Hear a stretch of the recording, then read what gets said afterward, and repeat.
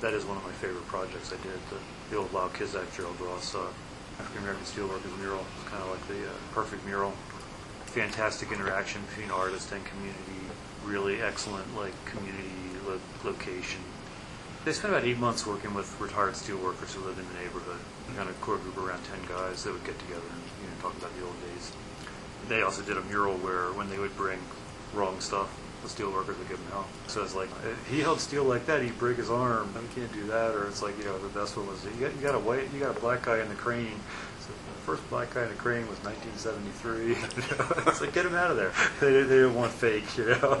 You know, so it was a really great, like, interaction. And the artists, like, and the, and the steelworker guys really got close. But it was also this, like, incredible, like, discovery that East Side Black Baltimore was steel industry because there were, I think, 40,000 African Americans employed in Sparrows Point in the 1930s, or even earlier.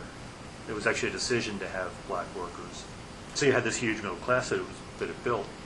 That started in that East Baltimore neighborhood and all moved to the suburbs. It's an incredible mural. It's uh, it's huge, certainly. Yeah, and it's really like a well thought out. Like each part is actually done where it starts with the uh, raw steel, and then transitions to the finished steel. And at the Mhm. same time, it starts historically. So it's like heyday of steel at the beginning, and then the middle is when the black steel workers marched on Washington to get e- equal pay.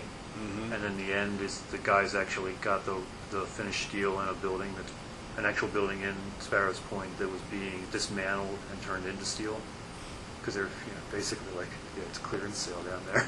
Yeah. So it's actually like they actually did like and it, like and they, they pointed out that we finally got equal pay right when the steel industry crashed in America. We finally got it, and then it wasn't really all that great anymore. You know? Yeah.